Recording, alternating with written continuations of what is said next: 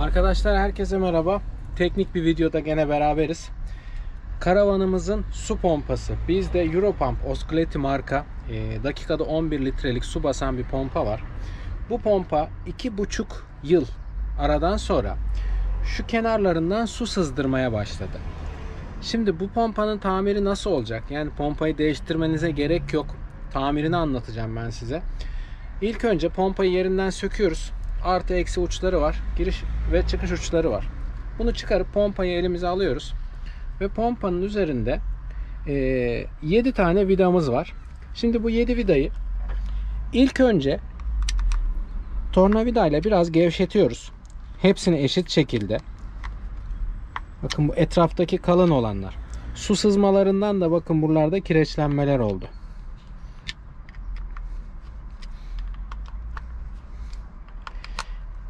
Hepsini eşit gevşettikten sonra uğraşmamak için bir matkapla bunları açalım.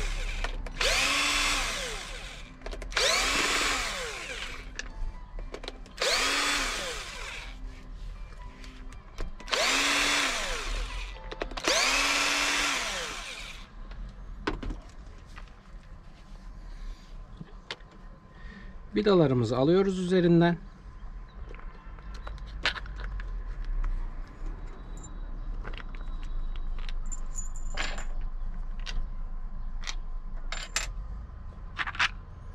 Bakın. Pompamızı ayırdık. Daha sonra pompanın çalışmasına yarayan bu mekanizmamız var üstünde. İki tane vida da bunları tutuyor.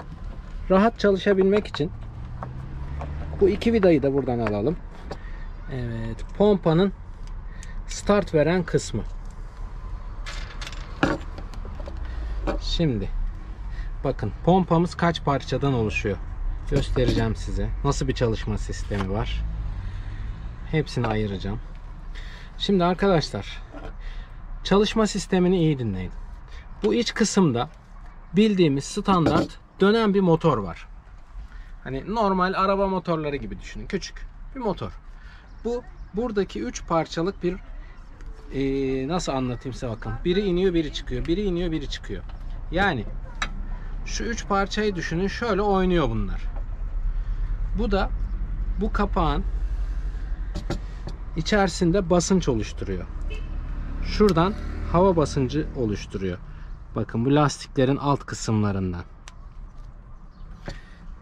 Şöyle takıyoruz.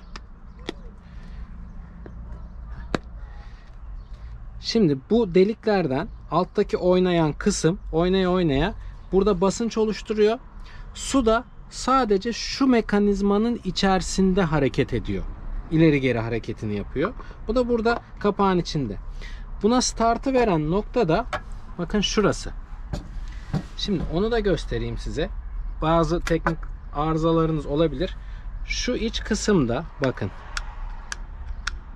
Bunun içerisinde oluşturduğu basınç buradaki sensör tarafından burada algılanıyor ve makine çalışıyor.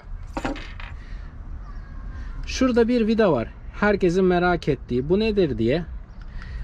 Burada su geçişi sağlayan bir nokta var. Bununla ilgili. Bu 11 litreyi 10 litre, 9 litre olarak biraz kısabiliyorsunuz. Çok önemli bir ayar değil bu. Şimdi gelelim problemimize, sıkıntımıza. Sıkıntımız nedir? Şöyle bir oturayım. Olayı size anlatayım. Bu kapak içerisinde şu lastikler yani bu hareketli bir parça. Çok fazla hareket etmiyor. Bu sabitleniyor, içeride duruyor ama sürekli suyun hareketinden dolayı Tuğba yaklaştır bak. Bak. Biri giriyor. Biri çıkıyor bak. Bir bu, bir o. Bu şekilde hareket ediyor. Titreşimlerle hareket ettiği için şu üstteki beyaz bu conta kısmı bu bir plastik. Zamanla aşınıyor, yıpranıyor. Bu yanlardan su sızdırmaları yaşıyoruz. Bu lastiği ben biraz araştırdım ama e, yenisini bulamadım. Ne yapacağız? Olacak olan olayı ben size anlatayım. Lastiğin tam oturduğu bölge bu iç kısım. Lastik buraya biniyor. Bu da buraya kapanıyor. Şimdi biz su sızmasını e, nasıl göstereyim ben size? Şu aralardan alıyoruz. Şu boşluklardan alıyoruz. Bu boşluğu kapattığımız zaman buradan dışarıya su sızması olmayacak. O yüzden şu ince kısım bakın şu oyuntulu kısım buraya çok inceden silikonu buraya sıvayacağız. Kurumasını bekleyeceğiz. Ondan sonra kapağımızı kapatacağız ki bu lastikle silikon birbirine kapansın içeride ve bütün sıkıntılarımız gitsin. Ha bu arada bir dipnot. Ben bunu ikinci kez tamir ediyorum. İlkinde sıvı conta kullandım. Kırmızı sıvı contalar var. Ee, onu kullanmayın. Neden derseniz bunun hafif titreşiminden dolayı o sıvı contayı aşındırıyor. Gene su kaçırma yapıyor. O yüzden bunda Dyson Extra kullanacağız. Şimdi onun uygulamasına başlayacağız. Öncelikle silikonu süreceğimiz yeri iyice kuruluyoruz.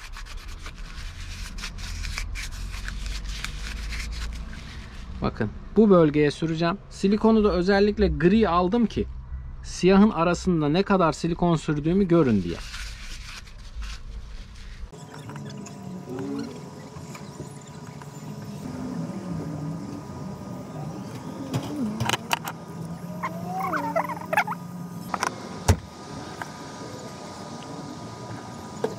Şimdi arkadaşlar bakın silikonu sürdüm ama bu şekilde bırakmayacağım. Bunu elimizle iç kısmına çok hassas bir şekilde yayacağız. Bakın. Parmağınızla çok şu dip kısma özellikle bu dip kısım güzelce yayılması gerekiyor buraya.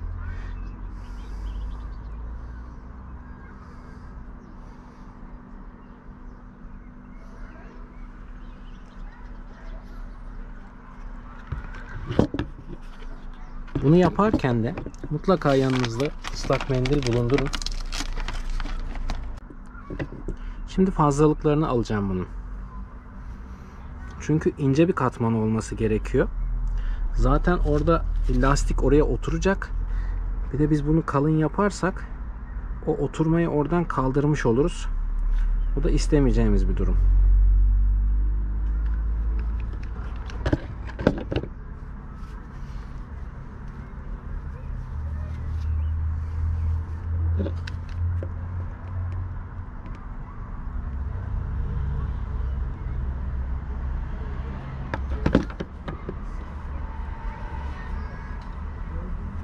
Arkadaşlar silikonu süreli 3 saat oldu. Kurudu. Şimdi buraya çektiğimiz silikonu kalın çekmeyeceğiz. Nasıl söyleyeyim size? Bir e, madeni para kalınlığını bile geçmesin. İnce. Çünkü zaten bu bu iç kısmı oturuyordu buraya. Ama aralardan sızdığı için biz buraya conta görevi gördürdük bununla. Şimdi artık toplama kısmına geçiyoruz.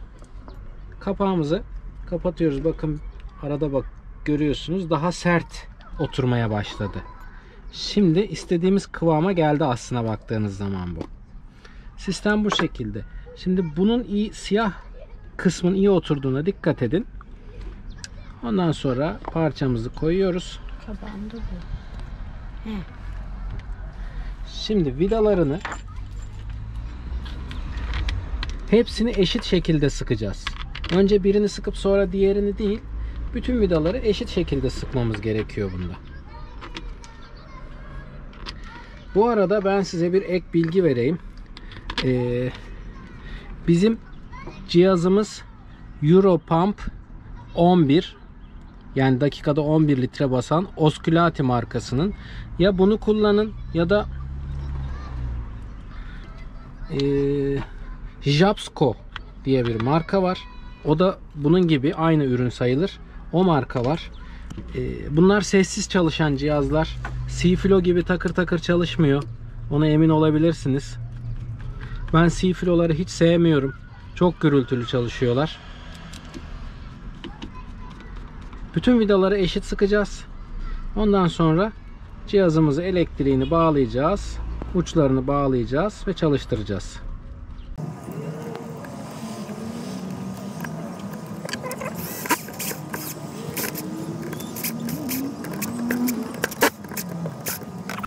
Devreyi çalıştıran ne işe yarıyor? Bu burada su basıncı olup olmadığını algılıyor ve içindeki su azaldığı için devreyi tamamlayıp basıncı oluşturuyor. Böylelikle de çeşmemizden su gelmeye başlıyor.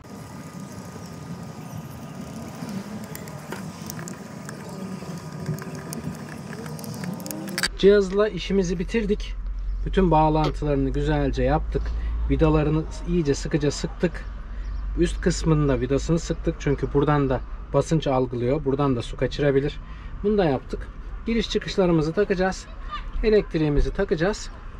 Çalıştıracağız. Herhangi bir yerden su gelip gelmediğini kontrol edeceğiz. Su pompalarının bakımları inanın bu kadar basit. Kolay kolay arıza verecek cihazlar değil bunlar. Ama zamanla işte kireçten, kullandığımız bazen kötü sulardan, içinde olan e, tozdan, topraktan haliyle cihaz zamanla aşınıyor. Su kaçırması oluyor. Bu şekilde tamir edebilirsiniz.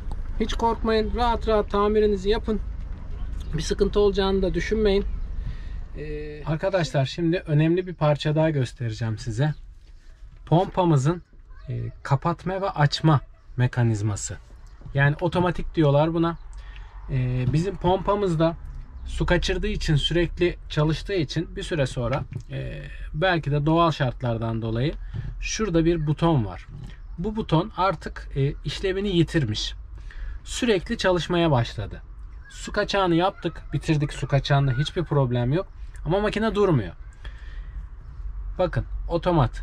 Şurada bir otomatımız var. Parça da bu. Bu parçayı ben 350 TL'ye aldım. Şimdi bunun bozuk olup olmadığını nasıl anlayacaksınız? Şimdi şuraya basıyorum bakın. Herhangi bir ses yok. Bir de yeni aldığım parça. Bunu buraya taktım. Hemen göstereceğim bakın size. Şöyle bakın.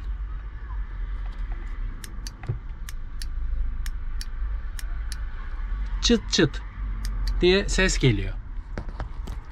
Bu çalışan parça. Sökmesi takması çok kolay. Hemen burada bu şekilde duruyor. İki tane vidası var şu kısımda. Bu iki vidayı söküyoruz. Üste bir vida daha var. Bunu da söküyoruz. Soketli iki giriş var. Bu soketli girişleri çıkarıyoruz. Yeni parçayı takıyoruz. Vidasını kapatıyoruz ve malzemeyi buraya takıyoruz.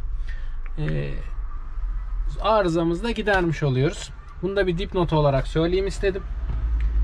Bununla ilgili ha pompanız hiç çalışmıyorsa sıkıntı nedir? Bir, gene bu arızalanmış olabilir. Devreyi hiç açmıyordur. Ya da motoru yanmış olabilir ısıdan dolayı. Benim pompam ısı korumalı. Onu da gösterelim hemen size. Bakın. Thermally protected. Yani sıcaklara karşı korumalı. Çok çalıştığı zaman kendini kesiyor, korumaya alıyor. Soğuduğunda tekrar starta giriyor. Motorunun kolay kolay yanacağını düşünmüyorum. Ama diğer C-Flow'ların nasıl olduğunu bilmiyorum. Onlar da belki koruma yoksa sürekli çalışmaktan motor yanabilir. Arka motor kısmını değiştirirsiniz. Çalıştıracağım ee, sistemi. Çalıştırdıktan sonra size de göstereceğim nasıl olduğunu. Artı burada bakın bir ayar daha var. Küçük bir butonumuz daha var. Şöyle bir bakın. Bu da basınçla alakalı. Bunu orta seviyelere kadar getirebilirsiniz. Vidasını. Ben denemek için biraz sıkmıştım. Sıktığım zaman kısıkta daha çok böyle çıt çıt çıt çıt çıt diye çalışıyor. Onları da göstereceğim şimdi size. Bir sistemi bir takayım, yerine monte edeyim. Ondan sonra birlikte bir testine bakalım. Çıkış kısmını takıyorum. Suyun bunu da gösterelim tekrar takma esnasında. Bakın ok işaretini görüyorsunuz. Su o tarafa doğru gidecek. Yani iç tesisat orası olacak.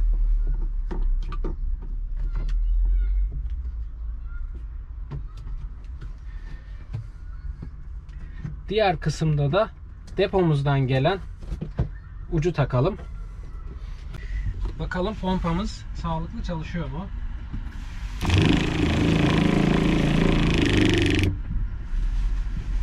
Evet açtım, kapattım.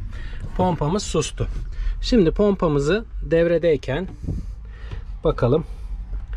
Görüyorsunuz herhangi bir tarafında su kaçağı, su sızdırması yok. Sistemimizi başarıyla çalıştırdık. Şimdi yerine montajını yapacağız. Ee, şimdiden bu videoyu izlediğiniz için teşekkür ediyoruz. Ayrıca hani bu tarz videolar e, yaşadıkça, karavanda kullandıkça neyin ne olduğunu biz de gördükçe ekstra ekstra çıkıyor. İleri günlerde daha farklı tamiratlarla işinize yarayan videolar olur. Onun için mutlaka abone olun. Videoyu da beğenin. Daha çok kişiye ulaştıralım. Bu arada Alp kameramanım bir şey söylemek istiyor size. E, yorumlarınızı bol bol iyice okuyoruz. E, bu videoya tam 10 bin like istiyorum. Görüşmek üzere o zaman. Görüşmek üzere. Hoşça kalın. Yeni videolarda görüşmek üzere. Hoşça kalın.